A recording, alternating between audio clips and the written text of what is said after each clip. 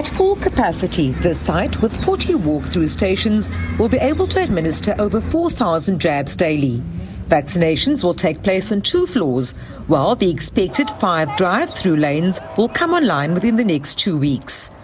Health authorities say the facility will boost its efforts at rolling out vaccines, especially to communities who found access challenging since the rollout.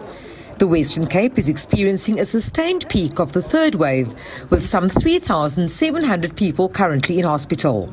And we think that that had obviously perhaps something to do with the level 4, level 3 um, amended lockdown regulations. And then also what happened, the schools opened up and the economy just generally opened up a little bit more. And because the schools opened up, there's obviously a lot more movement of people. And we have been seeing an, an increased in rate of infections in the younger age group. Eligible people across all the age bands have been urged to vaccinate. There are also calls to expedite the rollout to include the 18 to 34 cohort as soon as possible.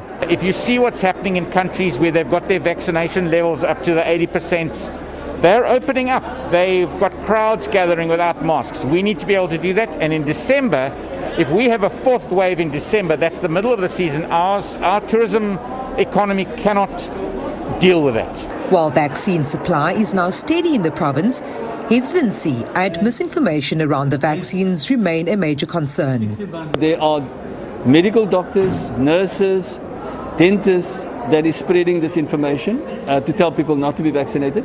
And they use their interpretation of science, which is misrepresenting the scientific fact to people, and scaremongering and convincing them that it's A, the vaccine doesn't work, B, it was rushed, C, it is not safe.